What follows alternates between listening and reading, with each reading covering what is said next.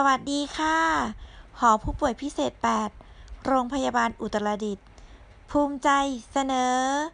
วิธีการล้างมือ 6 ขั้นตอนค่ะ หอผู้ป่วยพิเศษ 8 โรงพยาบาลอุตรดิตถ์ให้บริการรักษาพยาบาล มารดา และทารกหลังคลอดค่ะ ฉะนั้นการล้างมือจึงมีความสำคัญที่จะให้มารดาได้ปฏิบัติก่อนและหลัง ในการดูแลทารกนะคะ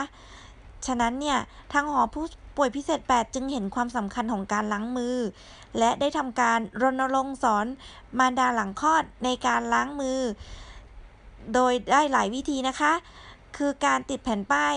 ในห้องน้ำในการสอนโดยเจ้าหน้าที่นะคะ และ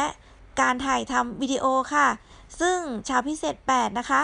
โดยการนำของหม่อมหลวงสุมนมานแสงซื่อ หัวหน้าหอผู้ป่วยพิเศษ 8 จึงได้สนับสนุนให้ทำวิดีโอ ในการที่จะเผยแพร่วิธีการล้างมือ 6 ขั้นตอนค่ะ ซึ่งวิธีการล้างมือ 6 ขั้นตอนมีดังนี้นะคะ ใช้เวลาไม่เกิน 3 ถึง 5 นาทีค่ะ เราเริ่มต้นกันเลยค่ะ ท่าที่ 1 ฟอกฝ่ามือและง่ามนิ้วมือด้านหน้าค่ะ ให้ทำข้างละ 5 ครั้งทำซ้ำกันทั้งสองข้างนะคะ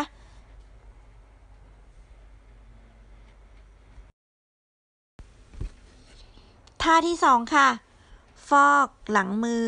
และง่าม นิ้วมือ ด้านหลังค่ะทำซ้ำกันทั้งสองข้างนะคะ ข้างละ 5 ครั้งค่ะ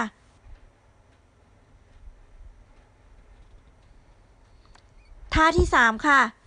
ฟอกนิ้ว และข้อนิ้วมือด้านหลังค่ะ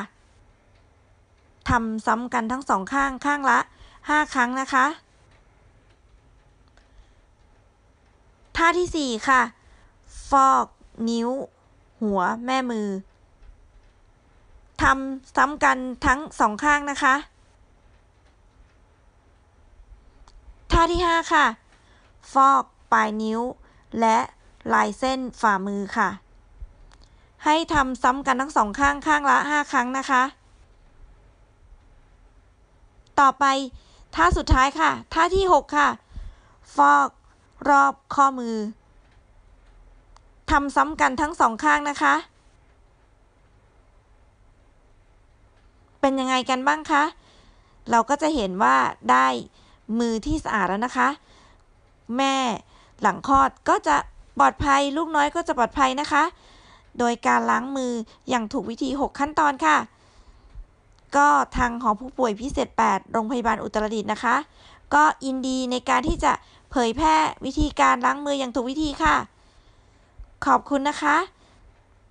สวัสดีค่ะ